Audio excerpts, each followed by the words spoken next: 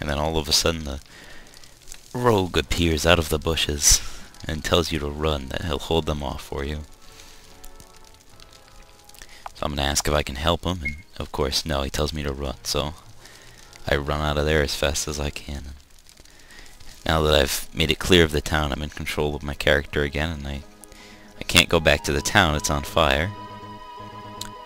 So I'm gonna go this way, off to the freelance, or the, the far lands.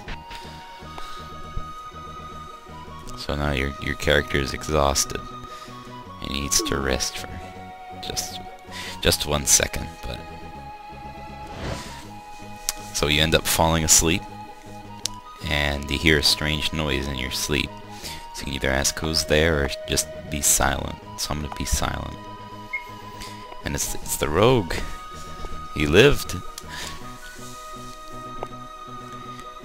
You're not dead.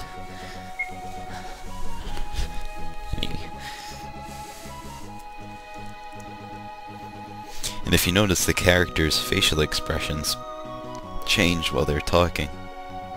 And this is also part of the downloadable content that we downloaded.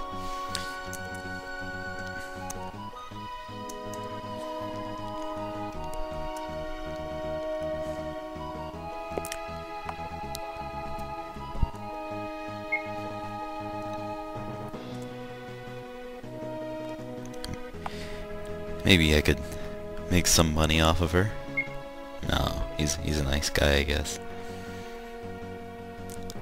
So now, of course, he'd like to join your party. And now you have four options to choose from. You can either tell him no or yes, or tell him it's the least I could do, or be kind of hesitant about it. So I'm just gonna say, yeah, I guess.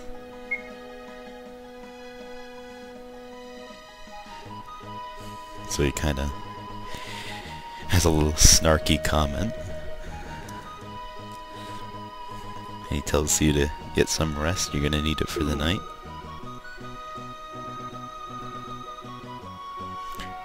And you have a nice, what is four second sleep, but it, it of course is um, just uh, shortened a little.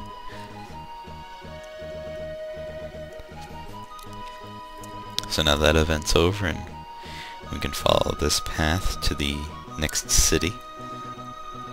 Going to run there. And this is actually the end of this video. The um, city isn't actually programmed yet. I hope that you enjoyed uh, looking at this RPG that we're working on. And um, I'll upload the next part of the adventure soon. Thank you for watching.